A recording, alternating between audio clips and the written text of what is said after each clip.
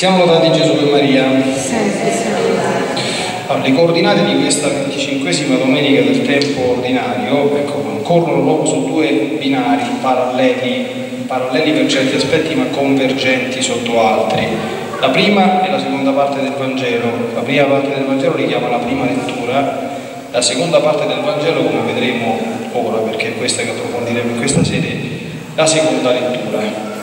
Contesto generalizzato. Gesù annunzia nuovamente la sua passione, deve venire consegnato il figlio dell'uomo per essere ucciso e la prima lettura spiega perché. Perché è stato ucciso Gesù? Questo lo approfondirò dopo. Perché era santo e quelli che santi non erano, lo odiavano, proprio detto in due parole. Detto questo, c'è la seconda parte del Vangelo che ci mostra alcune miserie del gruppo apostolico. Immaginatevi la scena, no? Gesù cammina, questi cominciano anche a chiacchierare a lui, come lo capisco perché noi preti facciamo così ogni tanto, quando vediamo che le pecorelle fanno qualcosa che non funziona, facciamo finta di non vedere o di non sentire, perché è meglio fare finta di non vedere o di non sentire, no? Quindi fa finta di niente. Poi al momento opportuno dice, che stavate a dire? Immaginatevi la faccia, no? Dice, mm.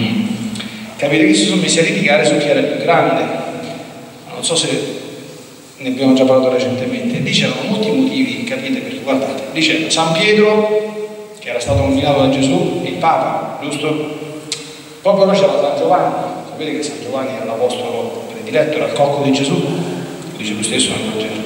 Poi c'erano Giacomo e Giuda che erano i cugini di Gesù, erano i figli del fratello di San Giuseppe, sono cresciuti insieme, capite? Poi c'era Giuda Iscariota, che pochi sanno, Giuda Iscariota era più intelligente, era più poi c'era Bartolomeo che era il più anziano. io so questo, io so... se sono messi di questo, chi è, chi, chi, chi è più grande? Gesù chiaramente gli dà una bella suonata, e, e chi vuole essere il primo tra noi si deve mettere all'ultimo posto, ma l'ultimo, l'ultimo, l'ultimo per scherzo, eh? E poi fa l'esempio del bambino. Ecco, approfondiamo un attimo il bambino prima di passare rapidamente. Perché, perché cita il bambino in questo, questo corso? Voi sapete che i bambini, qui ce ne abbiamo un pochino grazie a Dio oggi, così ecco, possiamo guardare bene, il bambino è una realtà complessa. Sotto certi aspetti il bambino non è una realtà molto positiva, ma mamma lo sa, che i bambini a volte sono capricciosi, d'accordo? Fanno i capricci e si comportano da bambini. Quindi sto a giocare con un amico mio, mi fa arrabbiare, prendo il pallone e me ne vado non gioco più. D'accordo? Oppure fanno i capricci, fanno le cose. È in questo senso che Gesù dice ai bambini, guardate che secondo voi ci stanno adulti che sono più ragazzini dei bambini che fanno queste cose, che fanno i capricci, che siccome hanno difficoltà in relazione, prendono il pallone e se ne vanno, ah, non, non, basta, adesso non, non gioco più. Io ne conosco tanti, ci stanno tanti adulti bambini in senso negativo, solo che Gesù qui non lo usa in questo senso, lo usa nel senso positivo. Cosa hanno di bello i bambini? Che, che, che, numero uno, sono privi di malizia. A un bambino se il papà gli dice guarda l'altro che c'è l'asino che vola, quello dice dove sta? Capite? Crede tutto. Ma poi cosa hanno? Che sono vuoti, cioè un bambino può essere plasmato, educato, se i genitori sono bravi, lo educano bene, il bambino verrà un bel uomo. Perché? Perché tu lo, lo ricevi quando nasce e Aristotele diceva tabula rasa, è una tavoletta bianca, è come, un, libro vuoto, tu ci puoi scrivere quello che vuoi e è ricettivo perché, capite, secondo voi, no?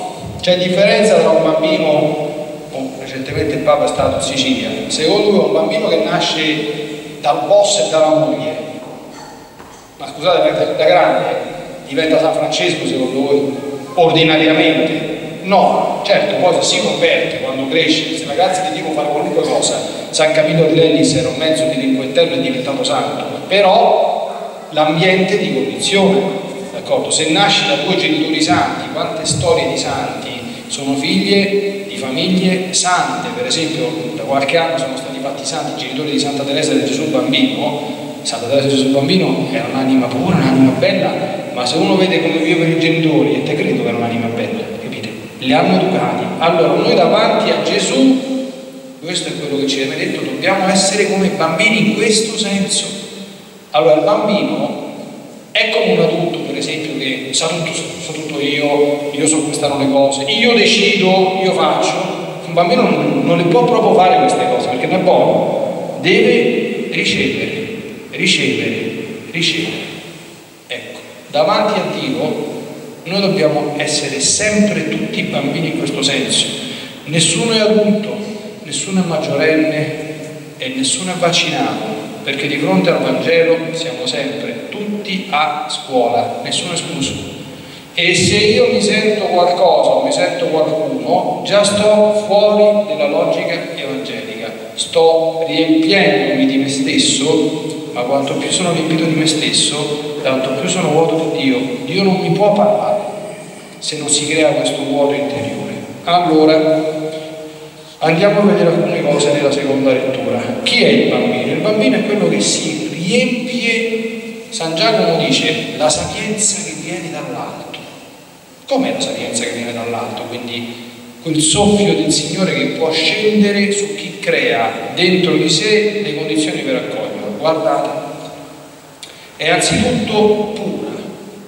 Cosa sono i bambini? I bambini possono essere impuri? I bambini piccoli? No. Sapete che se anche i bambini stanno, perdonate, nudi, non gli sembra niente di strano, non mandarci a nudi, ma loro non hanno, capite? È come se fosse questo. Non gli vengono proprio alla testa certi pensieri. Allora, la sapienza che viene dall'alto è pura. Quando io creo le circostanze interiori, anche se fossi il peggiore dei lussuriosi, io posso diventare l'emblema della purezza. È successo tante volte nella storia della Chiesa. Basta che io abbia il cuore aperto nei confronti del Signore. Poi, cosa un po' più vicina forse a noi, pacifica, pacifica, mite e arrendevole. Invece, com'è il modo di vivere mondano che San Giacomo ci nomina all'inizio della lettera? Spirito di contesa, disordine, cattive azioni, guerre e liti. Noi non abbiamo questo stile. I figli di Dio non vivono così. Non stanno sempre a litigare e a fare polemiche con tutti e con tutti. Non, non ci appartiene questa cosa. Gesù non era così. Ha detto imparate da me che sono mite ed umile di cuore. C'è un carattere forte? Benissimo. Usa il carattere forte per esercitare la fortezza, coraggio, l'eroismo nelle virtù, non per aggredire il prossimo, questa non è una buona forma. Pacifica, mite, arrendevole e piena di misericordia. Arrendevole, arrendevole vuol dire che, avete visto no? Quando sta una discussione, ah, c'ho ragione io, no, c'ho ragione io, no, c'è torto, punto, punto e via. La sapienza che viene dall'alto è arrendevole. Non fa niente che non c'è torto, la cosa importante è che stanno in pace. Non fa niente che c'è ragione. No, perché, lo sapete, io tanti anni fa stavo in mezzo ai tribunali, si scannano anche tra, tra famiglie, tra fratelli e sorelle, per questioni, no, per principio, non solo a soldi, ma per principio della giustizia. In questo non c'è niente a che fare con il Vangelo, anche se c'è ragione secondo la giustizia umana. La giustizia umana se la facciamo arrosto, diceva mia madre, capito? Che te importa la giustizia umana? Noi non, che, non è modo di vivere secondo il Vangelo. Pura, pacifica, mita, mite, arrendevole, piena di misericordia e di buoni frutti, imparziale e sincera, sincera, non ipocrita. Ma non essere ipocriti, stare attenti, eh, perché ogni tanto eh, sapete quante volte a me devono dire, ah padre, io non sono ipocrita, pane al pane e vino al vino. Io dico quello che penso, a tutti, non parlo alle spalle. Com'è questo comportamento? Un comportamento buono o no? Sapete come dice il proverbio, come lo disse una volta il mio vecchio padre spirituale, no? Dice, no, non bisogna, io dico quello che penso. Quindi dice, Leonardo, ricorda, eh, lo stupido dice quello che pensa, il saggio pensa a quello che dice. Ricordatela questa cosa qua, eh? Lo stolto dice quello che pensa, il saggio pensa a quello che dice, ma non perché è ipocrita, perché io non mi posso mangiare viva una persona che mi sta davanti con la scusa che dico quello che penso, piena di misericordia, dove sta la misericordia? l'amore fraterno.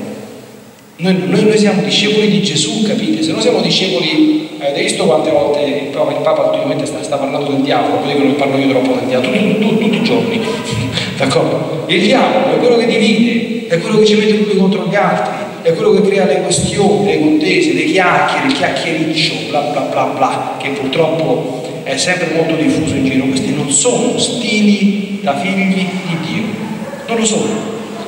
Guardate come conclude San, San Giacomo. Per coloro che fanno opera di pace, viene seminato nella, nella pace un frutto di giustizia. Capite? Noi, discepoli di Gesù, cosa diciamo prima di fare la comunione? Signore Gesù Cristo che dette ai tuoi apostoli, vi lascio la pace, vi do la mia pace. Perché ci scambiamo il segno della pace prima di fare la comunione? Non per andare in giro, non si fa così, eh? non si va in giro per tutta la Chiesa a, a, a, capite, a creare disordine. La pace è un gesto simbolico, un scambio col vicino, però è un gesto simbolico importantissimo. Tu stai per ricevere nel cuore il principe della pace, per cui il nostro impegno è di stare in pace con tutti, capite? Con tutti. Non vuol dire che se c'è qualche cosa di cui parlare non se ne parli. Ieri il Cardinale Petrocchi ha detto delle cose bellissime, no? Ma non si litiga, capite? Ci si ascolta l'uno con l'altro, si dialoga. Non è che io comincio a pensare, tu non capisci niente, ti devo convincere, tu c'hai torto e ti faccio la testa così. Questo, questo non è modo di questa è superbia, capite? Noi non possiamo fare così. Allora, quando c'è qualche divergenza, con calma, nel rispetto del prossimo, delle opinioni degli altri, ci si siede e con pacatezza si esprime quello che si pensa, però poi si ascolta quello che pensa l'altro, perché mica posso essere convinto che ho ragione. E chi, chi sono? Eterno sulla terra? Può darsi che ho torto. Quindi c'è questo stile pacifico. Capite? Però per, diciamo, per recepire queste cose, questa è parola di Dio, non è parola di Don Leonardo, eh? io ho fatto la predica citando i passi della Sacra Scrittura, non sto dicendo cose mie. È chiaro che se io dico no, no, sono d'accordo, il Signore ti lascia libero, ma non sei un bambino. E il Vangelo parallelo dice solo i bambini entreranno nel regno dei cieli. Perché per entrare nel regno dei cieli tu devi imparare a vivere come vuole il Re del cielo, che è Gesù che non vive come vivi tu, perché se vivesse, se, se, se, andasse, se andasse bene come viviamo noi uomini, non sarebbe sceso dal cielo a parlarci, a insegnarci tante cose, capite? Quindi dobbiamo avere sempre il cuore aperto nei confronti di Gesù. Non siamo obbligati, d'accordo? Però se non apriamo il cuore non siamo suoi discepoli. Non è obbligatorio essere suoi discepoli, non lo siamo. Se riconosciamo di non essere, vogliamo imparare ad essere lì, dobbiamo ispirarci alla logica del bambino metterci dinanzi a lui come un bimbo che non sa niente e impara, si lascia plasmare, si lascia ammaestrare anche lasciando tanti modi di pensare, di vivere, di operare che non è detto che siano giusti, potrebbero essere sbagliati. E che problema c'è? Li cambia, non succede niente, si campa meglio quando si vive in comunione con Gesù e in pace tra di noi. Bene, chiediamo a Maria Santissima che è la regina della, della pace che ci aiuti ecco, ad essere come fu lei, piccola davanti a Dio per essere piena come lei fu della sua grazia, dei suoi doni e di tutte le virtù che dal cielo ci vengono donate. Siamo lodati Gesù e Maria.